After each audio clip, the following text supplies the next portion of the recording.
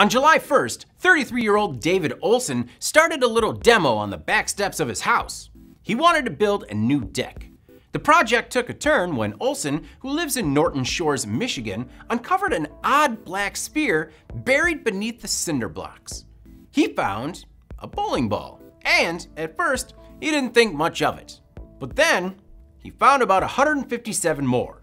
According to the Detroit Free Press, Olson thought the balls were just used as fill, which he was fine with, since they were easier to move than your typical boulder. But Olson wondered where they came from.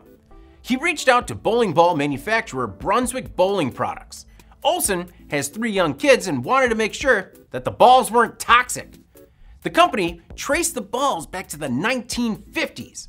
Up until 2006, Brunswick manufactured balls, pins, and other bowling equipment in Muskegon, Michigan, which is a little more than five miles north of Olson's home in Norton Shores. Olson, who has chronicled his journey on Facebook, was recently contacted by former Brunswick employees who said that former workers used to take scrap bowling balls and use them as cheap fill.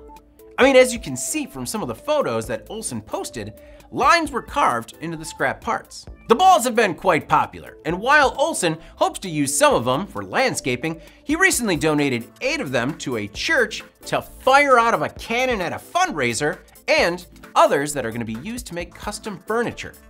This week, Olson started a GoFundMe campaign to raise $15,000 to help pay for the replacement of his patio and build a new deck. He also wants to expand the investigation to see just how many bowling balls are lurking beneath the surface. So far, he's raised $10, though he's generated incredible interest, particularly from people in the bowling ball yard art game.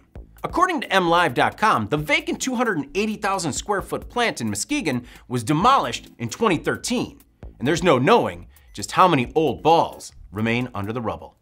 I'm David Mantey. This is IEN Now.